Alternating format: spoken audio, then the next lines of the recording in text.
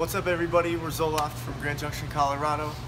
We're coming to you today to uh, invite everybody to join us in the St. Baldrick's campaign.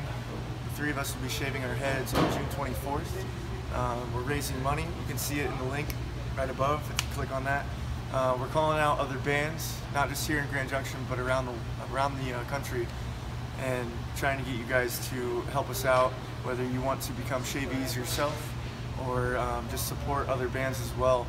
Um, we need your help. There's less than 4% of the uh, National Cancer Institute funding that goes to childhood cancer research, um, which is severely underfunded. So join us, shave your head, let's raise some money, play some music, share this with your friends. Hey guys, I mean this really means a lot to us. Uh, we recently lost a friend to cancer, uh, Connie Marullo. Uh, it's it's something that hits close to home for all of us right now, and uh, we really care and we really want to make a difference in this community and in the nation. And I mean, you know, there's not enough funding for this, and we we could use every dollar you got, any dollar you got, a dime even. Just come on, you know, come out, support us, uh, just rock the bald with us, man. You know, let's, let's do this. Let's make it happen. Do this.